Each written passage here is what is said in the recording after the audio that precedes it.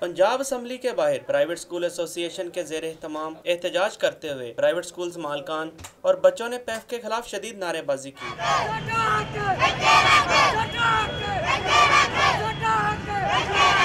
مظاہرے میں شریک بچوں نے پلے کارڈز اور بینرز بھی اٹھا رکھے تھے، جن پر ان کے مطالبات درج تھے۔ بچوں کا کہنا تھا کہ ان کے والدین سکول کی فیس ادا نہیں کر سکتے۔ پیف پرائیویٹ سکولوں کو گود لے کر مستحق بچوں کو مفت تعلیم دے۔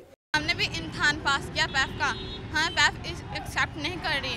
ہمیں تعلیم حاصل کرنے کا پورا حق ہے۔ فی تعلیم۔ ہم نے ایک کلومیٹر کی شرط ختم کیا ہم فیسیں نہیں دے سکتے۔ ہماری فیس معاف ہو جائے۔ پرائیویٹ سکول ایسوسی ایشن کے صدر انور شاہین کا کہنا تھا کہ نو سو سے زائد سکولوں نے پیف کا امتحان پاس کیا لیکن اس کے باوجود ان سکولوں کو پیف قبول نہیں کر رہا۔ وزیر اعلیٰ پنجاب نوٹس لیں۔ ہم سی ایم سے ریکویسٹ کرتے ہیں یہ بچے ہیں ہمارے۔ ان کا بھی بنیادی حق ہے مفت تعلیم۔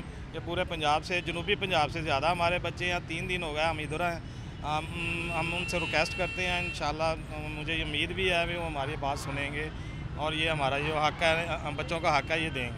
ایم ٹی پیف کی جانب سے مذاکرات کی دعوت پر پرائیویٹ سکولز مالکان نے اپنا احتجاج ملتوی کر دیا۔ لیکن سکولز مالکان نے دھمکی دی ہے کہ اگر پیف نے ان کے سکولوں کو قبول نہ کیا تو وہ احتجاج کا دائرہ کار وسیع کر دیں گے۔ کیمرہ مین سجاد احمد کے ساتھ Junaid Riaz city forty two